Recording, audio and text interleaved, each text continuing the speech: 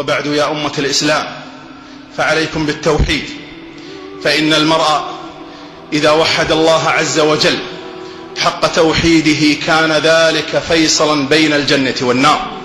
تمسكوا بالتوحيد يا عباد الله فإن الأيام تسير عجلا والمرء يصبر على الجوع في هذه الدنيا ويخلفه الله عز وجل خيرا في قلبه طمأنينة وسعادة وفي الآخرة الهدى والأمن التام مما يأتيه من الملمات والعواقب والأخطار والمخاوف التي تكون يوم القيامة.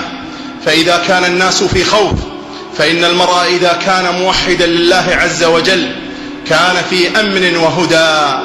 فاتقوا الله يا عباد الله وتمسكوا بالتوحيد.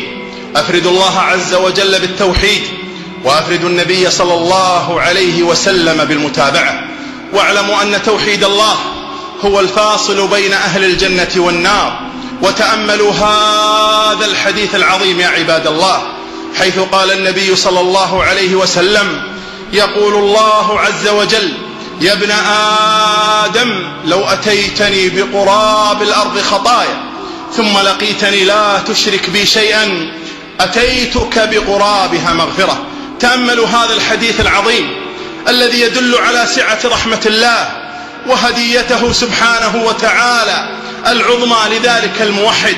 حتى لو أنه جاء بملء الأرض هذه معاصي وذنوب فإن الله عز وجل لا يستعظمه ذنب ولا يستكرهه شيء سبحانه وتعالى فهو الغني الغنى المطلق يا عباد الله وهو غني عن تعذيب عباده لو جاء المسلم بملء الأرض هذه ذنوبا ثم لقي الله عز وجل يوحده حق التوحيد مؤمن بالله عز وجل موحدا يريد ما عند الله عز وجل في إيمانه أتاه الله عز وجل بمثل هذه الأرض مغفرة وهذا مما يجعلنا نتمسك بالتوحيد ونعض عليه بالنواجذ ونبتعد عما يشوبه وكل طريق يؤدي إلى الشرك فإننا نقطعه عن التفكير فضلا عن مسألة العمل. لا نجعل هذا الدين عرضا للتسلية ومسألة الاستكشاف وأريد أن أرى فقط أنا أضحك.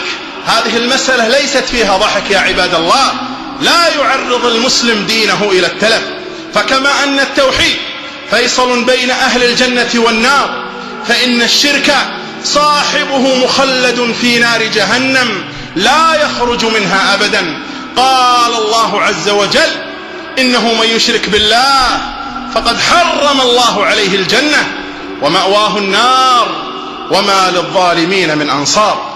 نسأل الله سبحانه وتعالى أن يحيينا على التوحيد والسنة سعداء وأن يميتنا على التوحيد والسنة شهداء وأن يحشرنا في زمرة الأتقياء. اللهم اغفر لنا وارحمنا وعافنا واعف عنا وتوفنا وأنت راض عنا. اللهم اجعلنا لك شاكرين لك ذاكرين أواهين منيبين.